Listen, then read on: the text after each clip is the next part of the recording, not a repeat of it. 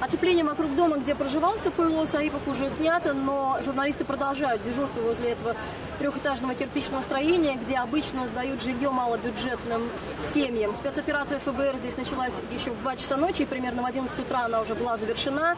Вынесено несколько черных больших мешков из-под мусора с вещдоками. Журналисты э, не имеют понятия, что же там внутри. Также никто не видел ни жену Саипова, ни его детей. Соседи рассказывают о нем довольно противоречивые вещи. Одни говорят, что он был очень нелюдим, недружелюбен, не улыбался и не приветствовал прохожих, как принято в маленьком городке Паттерсон житель соседнего дома, молодой человек, э, говорит, что нет, как раз к вежливости Саипова у него претензий не было, но его поведение вызывало подозрения довольно давно.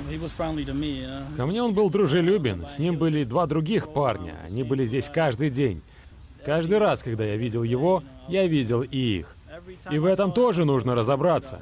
Они все выглядели одинаково. Одинаковые бороды, цвет кожи.